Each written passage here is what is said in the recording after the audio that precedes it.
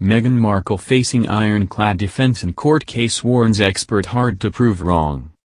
Meghan Markle, Duchess of Sussex, may find it tough to win the court case against the Mail on Sunday, according to royal commentators, who discussed the proceedings.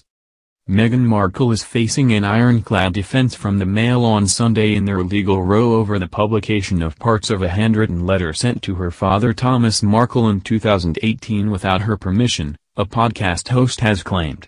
A commentator also claimed the Duchess of Sussex's privacy case against Associated Newspapers could be weakened by the fact that sources, said to be her friends, spoke about the letter to People magazine beforehand.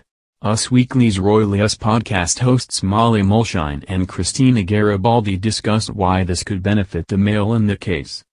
Ms. Garibaldi told listeners, I doubt Meghan's friends told People magazine about that letter without having either her blessing, or acting on her instructions. The whole legal lawsuit has so many different layers to it. A lot of people are arguing that People magazine didn't publish the actual letter, they just kind of summarized it.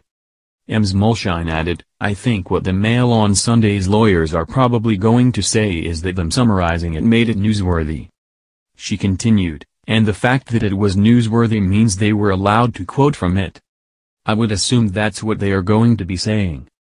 Ms. Garibaldi agreed, it seems like they have an ironclad defense going on here. It might be hard for Meghan to kind of prove them wrong in this one. The host added, either way, we'll watch it unfold.